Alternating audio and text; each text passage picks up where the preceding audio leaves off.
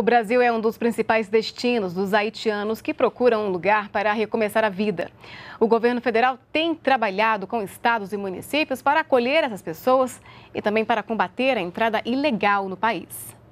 O que não falta é orgulho ao mostrar a carteira de trabalho. Faz quatro anos que o haitiano Jean mora no Brasil. Já fez até curso de qualificação profissional pelo Pronatec.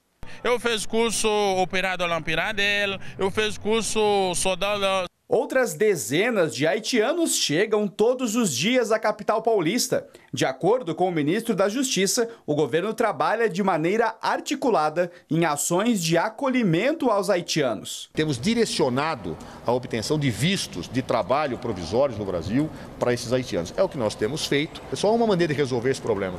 É evitar a entrada ilegal, é, é, é estimular quem quiser venha, venha legalmente, como fazem quaisquer pessoas que querem é, vir vir ao Brasil. O número de carteiras de trabalho emitidas vem crescendo a cada ano. Em 2013 foram 12.500, em 2014 24.500 e só nos primeiros quatro meses de 2015 quase 10 mil. No primeiro trimestre deste ano foi feito um mutirão para emitir carteiras de trabalho aos haitianos e o Ministério fiscaliza a situação de emprego desses imigrantes no país. Nós mobilizamos o nosso pessoal aqui e fizemos mais de 300 carteiras diretamente, dizer, sem nenhuma demora, sem nenhuma burocracia.